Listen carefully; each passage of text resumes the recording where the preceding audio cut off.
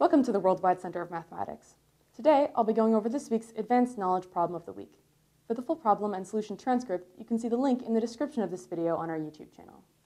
So this week's Advanced Knowledge Problem of the Week asks you to calculate the following integral. So we have integral of double integral, so some kind of area of the integrand is x times e to the quantity x squared plus y squared, all to the 3 halves. And our bounds of integration are from y equals 0 to y equals square root of 9 minus x squared, and from x equals negative 3 to 0.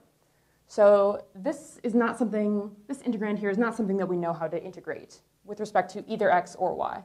Because, you know, we can't make a u substitution because there's no function and its derivative here easily, you know, accessible to us. So what we're going to try to do is we're going to try to graph the bounds of integration and see if we can switch into a different coordinate system. So we're going to go ahead and graph these bounds of integration here. So we have from y equals 0 to y equals square root of 9 minus x squared. So from y equals 0, so when y is equal to the square root of 9 minus x squared, we're going to have the positive hemisphere of the circle of radius 3. So something in here. And we know that x is from negative 3 to 0. So x is from negative 3 to 0. So we're just going to have this overlapping region here or this quarter circle. So we need to find this area here using this integral. So we can easily, easily switch our bounds of integration into polar coordinates. But to do so, we should remember a couple of facts about um, polar coordinates so we can convert without making any algebra mistakes or forgetting any parts of our um, integrand. So we know that x is equal to r cosine theta, uh, we know that we also know also that x squared plus y squared is equal to r squared. And finally, we know that our area uh, differential here, dA, or dA, which is equal to dx, dy dx, or dx dy, dA is going to be equal to r dr d theta. So remember, we have an extra r term, which we're going to need to remember to add into the integral later on. Okay, so it looks like we can easily set this up again. Just convert will set up the bounds of integration after we fix the integrand here. So we know that x is equal to r cosine theta, so I'm going to go ahead and plug that in here. r cosine theta instead of x. And we have e to the, okay, so we know that x squared plus y squared from here is equal to r squared. So r squared, all to the 3 halves, is equal to r cubed. So it's just going to be e to the r cubed. And don't forget the extra r, and then we have d theta dr or dr d theta. So in this case, we're going to need to set up our, reset up our bounds of integration. So it looks like we're integrating here from theta. So theta goes from pi over 2 here, all the way from pi here. It rotates there. So our bounds for theta are going to be pi over 2 to pi.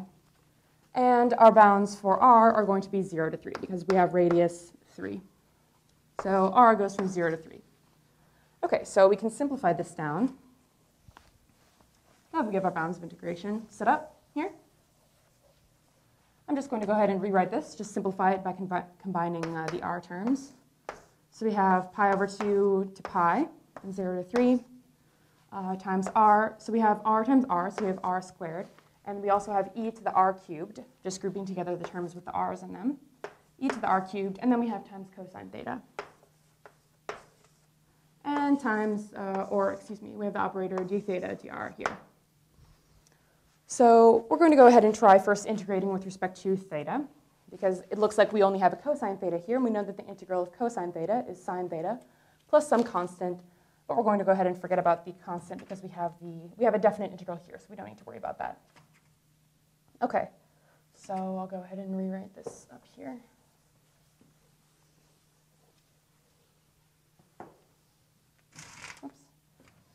Okay.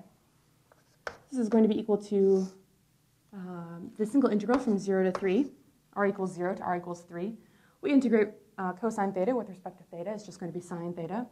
So just copying down r squared e to the r cubed. And then we have sine theta evaluated from theta equals pi over 2 to theta equals pi. And we have dr. So we know that when theta is equal to pi, if you think about this, when theta is equal to pi, sine theta is equal to 0. And when theta is equal to pi over 2, sine theta is equal to 1. So we have 0 minus 1, so we're going to have a negative 1.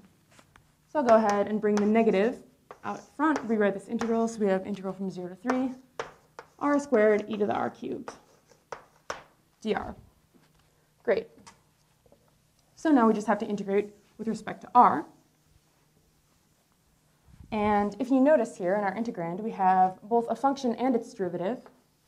We have, or some scalar multiple of its derivative. So we have an r cubed and an r squared. So we know that the derivative of r cubed is 3 times r squared. So it looks like the best option for us right now would be to make a u substitution. So we can set u equal to r cubed, and du is equal to 3 r squared dr.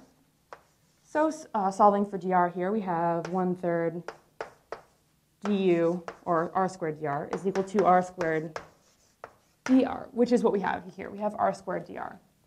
And we also need to remember that we need to recalculate our bounds of integration here because these bounds are in terms of r, but we need them to be in terms of u if we're going to do our u substitution like that. So we know that when r is equal to 0, u is equal to 0 cubed, which is 0.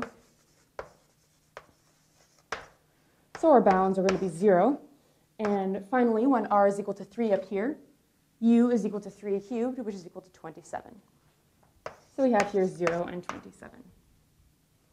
Okay, so I'm going to go ahead and rewrite this integral as an, the integral from 0 to 27 with our new bounds of integration in terms of u of all out here we have, don't forget the negative sign, negative, and we have also a factor of 1 third out here. So we can just bring that out to the front. Negative uh, 1 third here, and e to the r cubed, and r cubed is equal to u. So we have e to the u, all times du. Okay, so this is much, much simpler now because we just have the integral of e to the u, and we know that the integral of e to the u is going to be e to the u plus some constant, which we can just forget about because we have a definite integral. So we can rewrite this as negative one-third times e to the u, where u is evaluated from 0 to u equals 27. Okay, so we can rewrite this as negative one-third e to the u. So first of all, when u is equal to 27, we can just rewrite this as e to the 27 and minus a negative. So we can just have plus 1 third times e to the u, where u is equal to 0. So when e to the 0 is equal to 1, so we can just leave this just as is. So we've solved for our, we've solved our integral here, our double integral, and we did so by rewriting everything, re-expressing it in terms of polar coordinates instead of rectangular coordinates, and we made our lives much easier by doing that. And we were able to just make a couple, a simple u substitution and finally solve. So our final answer is going to be negative one third e to the 27 plus one third. And that solves the problem. So for more problems of the week, you can click on our playlist here to subscribe to our YouTube channel. You can click on this link here. And to visit us at centerofmath.org, you can click this link here. Thank you for watching.